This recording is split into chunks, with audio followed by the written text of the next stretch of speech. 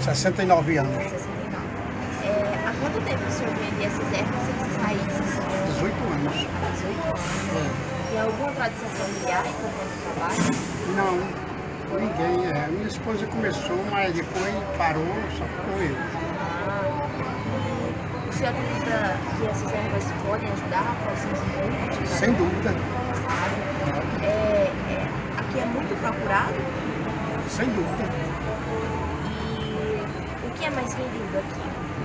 Mas usa Sim. garrafadas, as ervas, as ervas que faz a garrafada, porque muita gente não quer a garrafada, porque às vezes o dinheiro é pouco, às vezes não confia. E eles mesmos fazem, né? E quem confia faz a garrafada. Aí você, a garrafada ela é usada para quê?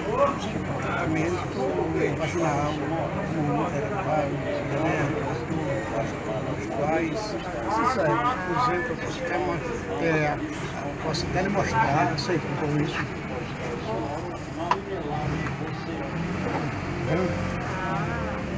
Garrafada. As mulheres tomam muito e se limpam e engravidam com rapidez. Tem algumas que vêm a perigo mesmo e vêm dar os agradecimentos quando termina de ficar Porque na realidade não é preciso o cara ficar doente para tomar garrafa. Ele tem que se preparar, né? Como diz a palavra, que prepara. Então a gente nunca se prepara porque acha que está preparado, É mas se engana. Verdade, verdade, você tá certo.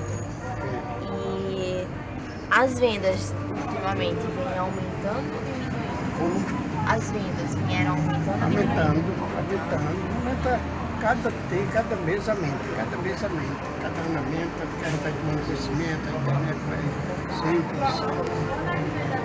crescendo em vantagem, e eu até posso Né? Esse aqui?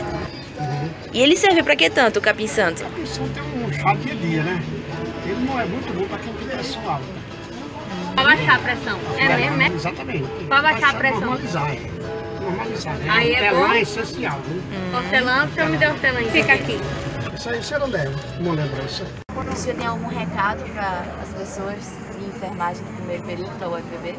O recado que eu tenho que se prepare, né? Não vá só em antibiótico, remédio de farmácia, não, porque, porque a finalidade do remédio de farmácia não é o condenando, que sou eu para condenar medicamento, né? É que cura uma coisa e abre outra. Você vai na farmácia, tá com um problemazinho, vai ver até grave. Toma o remédio 10 minutos, tá boa. Aí não, foi, não sabe onde foi parar aquele problema, né? Não sabe onde foi parar. É. Obrigada, viu, senhor, senhorita. entrevista. Qualquer coisa.